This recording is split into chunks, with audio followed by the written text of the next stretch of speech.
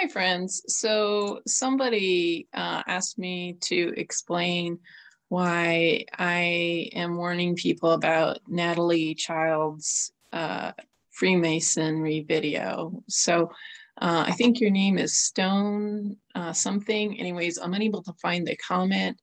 Um, so I think that person's comment was scrubbed along with my comment about Natalie Child. Now, look at it. So this Altiyan, there's only one uh, re- recorded listing of this name in all of the database I looked at. So this person, this Mason, is Natalie and child. Okay, what do the Freemasons do? What do the Illuminati do? Okay, eh, hidden in plain sight. Um, so when somebody says they're an ex-CIA, I did a video, an ex-CIA, ex-Mason, they're still a Mason. You don't get away from it. And so at the beginning, and if you look at his video, if you look at his picture, he's doing the Freemasonic holding the chin kind of a thing. He's wearing black, he's wearing white, which is a Freemasonic checkerboard polarity kind of a thing. And I realized, I mean, I was I was sharing this video. I I was, you know, I shared it. I mean, who knows? Thousands of views probably were led to this deceiver because of me. It's a five hour long video. Now, what this is, is this is the, the lamb, uh, the dead lamb pose. And you see this a lot. A lot of the movie stars do this disgusting pose. And it's to scoff the, the lamb, the, the Lord, who sacrificed himself. He lived a sinless life. He he uh, god made had a son born of a human being and jesus lived a sinless life and he sacrificed himself because the wages of sin is death. Anyways this this one is making fun of that.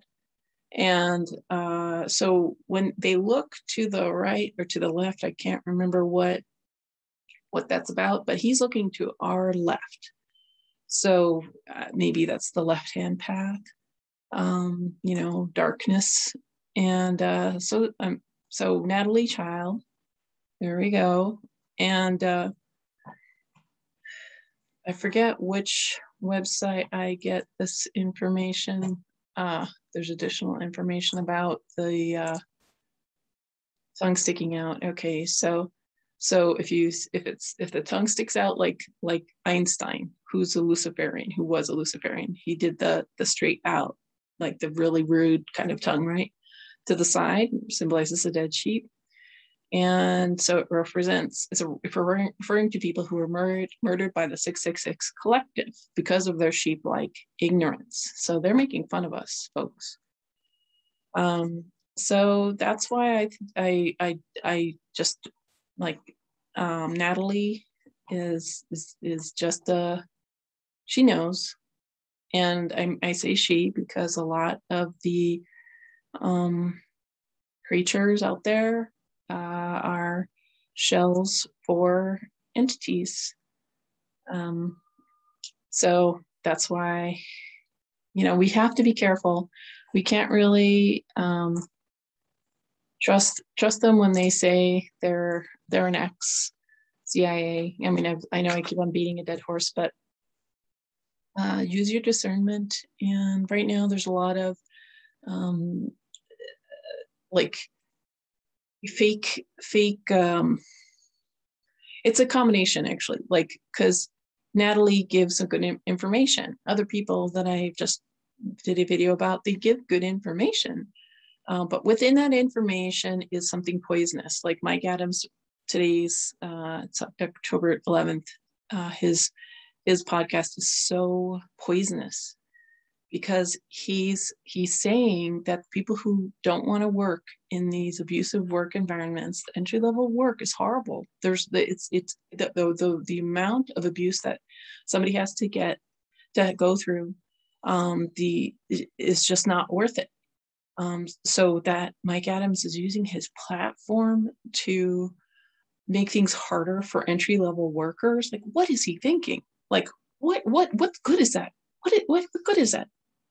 You know, is that? I mean, like OSHA isn't doing its job, Bureau of Labor and Industry isn't doing its job, and they haven't been doing their job. They're barely doing the job. I mean, I guess Bureau of Labor and Industry does did a better job when I had to interact with them, but most government regulatory agencies are not protecting employees, and employers certainly are not protecting employees. And just because you, Mike Adams, you might you might take care of your employees, you're probably one out of what I mean, out of all of them or something like that. So, so, oh, I just think it's so despicable when somebody who is privileged and sheltered uses their platform um, to bash the most vulnerable and the most important group of people.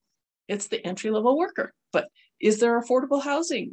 And I don't mean like horrible, um, like Section 8, disgusting, uh, invasive, abusive uh, Section 8 housing no, there should be affordable housing that somebody could pay that works in an entry level job. They shouldn't have to be on welfare to afford your housing.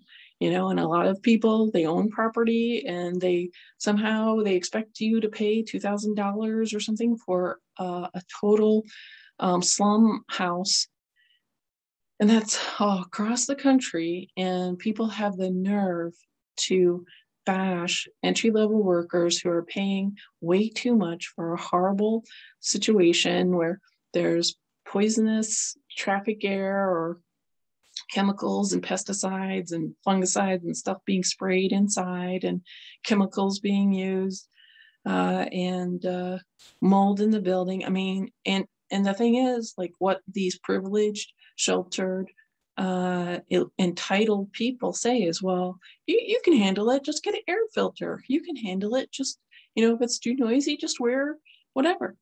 And the thing is, these shelter privileged people, they do, they're not subjected to the same uh, quality reducing aspects of life that an entry level worker has. An entry level worker has to do a thousand times more to make it to that shitty job that you're you're you're bashing them about you know that's that's the thing. Like when when so, i mean that's that's what i've observed when i was this entry level worker is that the privileged person lives in this gated community and they have their fancy car and they have all this like uh social leverage and they they just get like just they don't even have to pay for stuff because people just want them there. So they you know but when you're an entry level worker you're treated like crap uh, by your boss by customers by the whoever, you know, and uh, and you have a you don't have enough money to buy for food, to pay your bills, to pay your rent. Um, your living situation and your transportation situation is crappy. So anyway, um, so my guidance, watch out for that guy. Uh, because he is he is a, he's poisoning poisoning things he's dividing things um, and just like this natalie person so um, yeah, watch out. So those are my thoughts. Thank you for watching and God bless.